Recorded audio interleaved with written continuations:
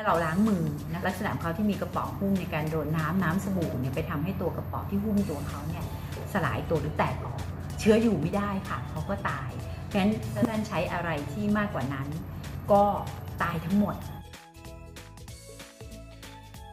โควิด -19 ตัวลักษณะของตัวเชื้อที่ทำให้เกิดโรคนี้ที่เราเรียกกันว่าเป็นไวรัสสายพันธุ์โคโรนาลักษณะเขาคือเขามีกระป๋องหุ้มตัวเอง คนที่มีตัวเชื้อเขาแล้วไอจาม มากับละอองฝอยแล้วไปตกบนพื้นสัมผัส หรือว่าสัมผัสแล้วก็ติดมือเรามา ซึ่งวิธีการที่ง่ายที่สุดในการป้องกันตัวเราเองจากตัวเชื้อตัวนี้ก็คือว่าทำความสะอาดหรือลดการสัมผัสลง เพราะฉะนั้นเมื่อเราล้างมือนะคะ ลักษณะเขาที่มีกระป๋องหุ้มในการโดนน้ำน้ำสบู่เนี่ยไปทำให้ตัวกระป๋องที่หุ้มตัวเขาเนี่ยสลายตัวหรือแตกเชื้ออยู่ไม่ได้ค่ะเขาก็ตาย ราะฉะนั้นเมื่อเขาตายได้ด้วยการล้างมือด้วยน้ำกับน้ำสบู่เนี่ยก็แปลว่าถ้าท่านใช้อะไรที่มากกว่านั้น ก็ตายทั้งหมดนะคะผลิตภัณฑ์ล้างมือก็เช่นเดียวกันนะคะ นอกจากน้ำกับน้ำสบู่ ถ้าท่านปกติใช้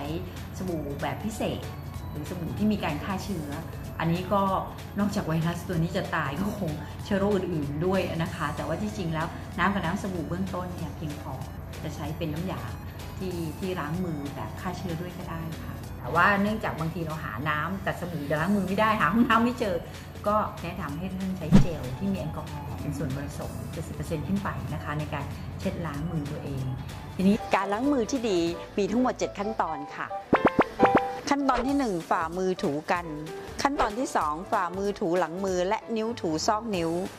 ขั้นตอนที่ 3 ฝ่ามือถูฝ่ามือและถูซอกนิ้ว ขั้นตอนทีสี่ 4 หลังนิ้วมือถูฝ่ามือ ขั้นตอนที่ 5 ถูนิ้วหัวแม่มือโดยรอบด้วยฝ่ามือ ขั้นตอนที่ 6 ปลายนิ้วมือถูฝ่ามือ ขั้นตอนที่ 7 ถูรอบข้อมือ